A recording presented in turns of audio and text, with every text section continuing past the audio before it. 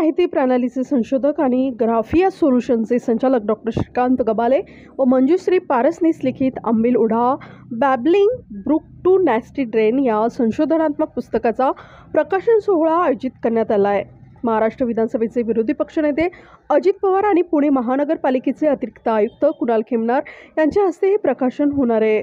ग्राफिया solution आणि वंचित विकास पुणे या संस्थेच्या वतीनं आयोजित हा कार्यक्रम येत्या शनिवारी सत्तावीस दुपारी बारा वाजता साज हॉल सिद्धी गार्डन येथे आयोजित करण्यात आला आहे. पुस्तकाविषयी बोलताना श्रीकांत कपाले म्हणाले गेल्या दहा वर्षापासून अंबिलोडा विषयावर काम करत असून पुण्यासह शेजारील गावांवर या विषयीसंबंधी पी एच डी केली आहे. भौगोलिक माहिती प्रणाली व दूरसंवेदनाचा वापर करून शहरातील पाणवठे नैसर्गिक प्रवाह झरे भौगोलिक स्थिती भूशास्त्र भूगर्भातील परिस्थिती पावसाचं मापदंड जैविक घटकांशी संबंध परिसरातील वाढती लोकसंख्या सद्यस्थितीत महाराष्ट्रामध्ये लागू असलेल्या एकीकृत विकास नियंत्रण व प्रोत्साहन नियमावलीनुसार नैसर्गिक प्रवासासाठी नियम व या संबंधित इतर समस्यांचा उहापोह हो, या पुस्तकात करण्यात आला आहे.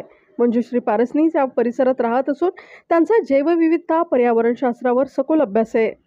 दोन हजार एकोणीसमध्ये आलेल्या पुरानंतर त्यांनी आपल्या ज्ञानाचा उपयोग करून आंबील ओढ्यातील जैवविविधता आणि पर्यावरणशास्त्र या अनुषंगाने लेखन केलं आहे नमस्कार मी डॉक्टर श्रीकांत गबाले.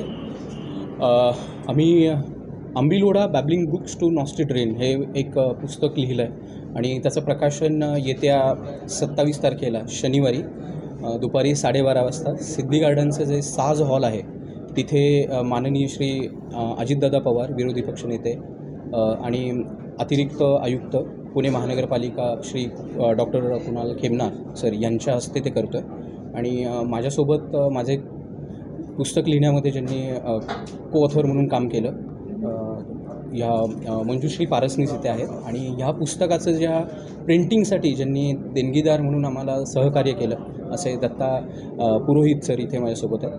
ह्या या पुस्तकामध्ये वेगळं पण असं आहे की हे पुस्तक एका आंबील ओढा ह्या वॉटरशेडवर लिहिलं गेलं आहे की जे पहिल्यांदा एखाद्या सिटीमधल्या वॉटरशेडवर इतकं डिटेल सायंटिफिक लिहिण्याचा प्रयत्न केला गेला आहे ज्याच्यामध्ये साधारणतः त्याचा इतिहास आत्ताची टोपोग्राफी तिकडची साधारणतः असलेले चॅलेंजेस इकॉलॉजी त्याच्या मागचं इकॉनॉमिक्ससुद्धा आम्ही लिहिण्याचा प्रयत्न केला आहे आणि सर्वात महत्त्वाचं म्हणजे ह्यामध्ये जे काही आजपर्यंत वेगळी पूर येऊन गेले इवन जे आपण रेकॉर्डवर घेतलेले आहेत. इवन अक्षरशः या वॉटरशेडमध्ये कधी एखादा भूकंप येऊन गेला आहे का? त्याचंही रेकॉर्ड आपण आपण ठेवलेला आहे. आणि अक्षरशः पेशवे काळापासून ते आत्तापर्यंतच आहे. आंबील ओढ्याचा जो प्रवास आहे त्याच्यामध्ये वेगळे चेंजेस आहेत हे सगळे मेन्शन करण्याचा प्रयत्न केला आहे जेणेकरून एक सर्वसामान्य इथे राहणाऱ्या व्यक्तीला एक अभ्यास करणाऱ्या लोकांना इव्हन आपण असं म्हणूयात की एक सायंटिफिकली त्याच्यावर काम करणारे शासकीय अधिकारी असतील इवन रिसर्च मधले काही लोक असतील या सगळ्यांना त्याचा फ फरक होईल